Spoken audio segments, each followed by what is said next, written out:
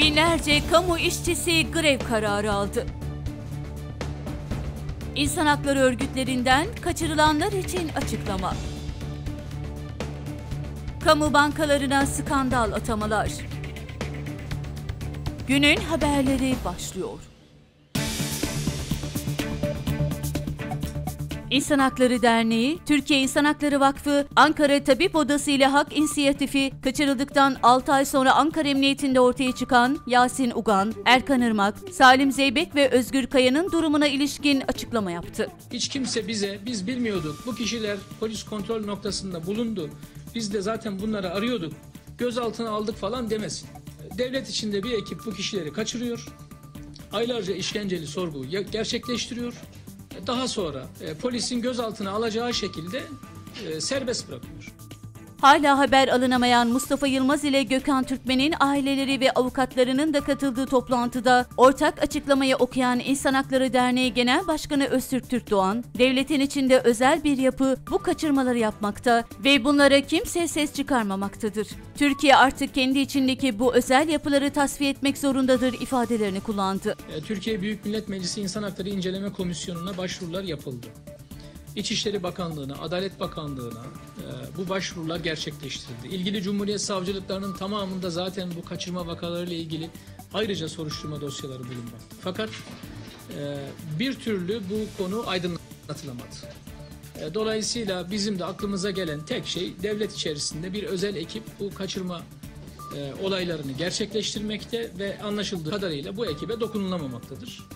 E, Türkiye 80'leri ve 90'ları tekrarlamamalıdır. E, Türkiye artık bu devlet içi özel yapıları, özel birimleri tasfiye etmek durumundadır. Ankara Tabip Odası Yönetim Kurulu Başkanı Doktor Vedat Bulut da atı olarak kaçırılanların sağlık denetimini yapmak istediklerini aktardı. 6 kayıptan bulunan 4 kişiye yapılan muamelelerin şüphe ve endişeleri artırdığının altını çizen akademisyen Kerem Altıparmak ise 6 aydır kayıp olan insanlar neden avukat istemesin? Bunun mantıklı hiçbir açıklaması yok dedi. Altıparmak'ın konuşmasından sonra söz alan kayıp Mustafa Yılmaz'ın eşi Sümeyye Yılmaz da eşimin yaşayıp yaşamadığından hala haberim yok. Neden biz bu insanlardan haber alamıyoruz? Bu kadar acımasız mısınız diye sordu.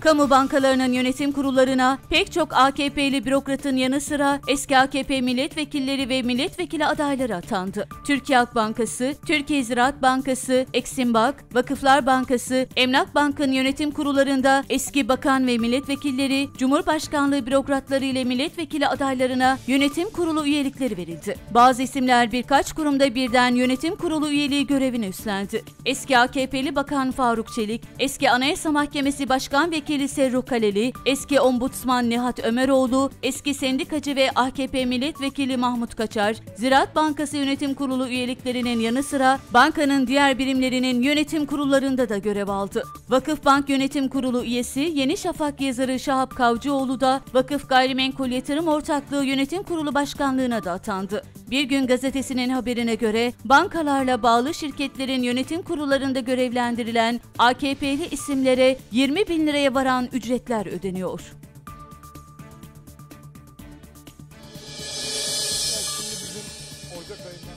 Türk İş Başkanı Ergün Atalay, 19 Ağustos'ta 30 bine yakın kamu işçisinin Darphane Genel Müdürlüğü ve Etimaden'de ve Tarım'da greve çıkacağını açıkladı. Yarın biz Darphane'de grev ilanını asmak mecburiyetindeyiz. Günümüz de oldu. Basın İş Sendikası da İstanbul Beşiktaş'taki Darphane ve Damga Matbaası Genel Müdürlüğü'ne grev kararını astı. Tüm kamu işçilerine seyyanen brüt 300 lira zam, ilk 6 ay %15, ikinci, üçüncü ve dördüncü 6 aylarda enflasyon artı 3 puan refah payı talep eden Türk İş, hükümetin en son verdikleri teklifin ilk 6 ay için %6, ikinci 6 ay için %4 olduğunu duyurmuş, enflasyonun %17 olduğu yerde bu teklifin kabul edilebilir bir tarafı olmadığını açıklamıştı.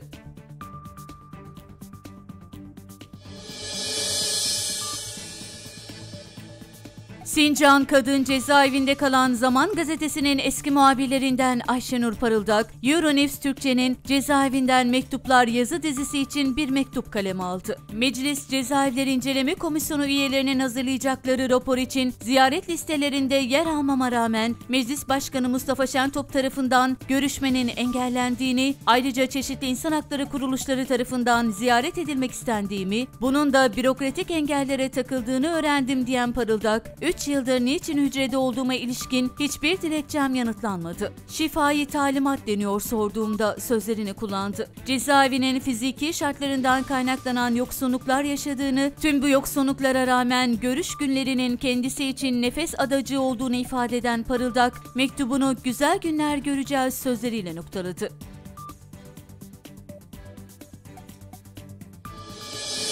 Önümüzdeki aylarda tüketici fiyatlarında yani nihai ürünün Bilkent Üniversitesi'nden Profesör Doktor Erinç Yeldan, bütçe açığında gelinen seviye dolayısıyla devlet harcamalarıyla oluşturulan büyüme hikayesinde sona gelindiğini, yüksek işsizlik ve düşük alım gücüyle ekonomik canlılık sağlamanın mümkün olmadığını söyledi.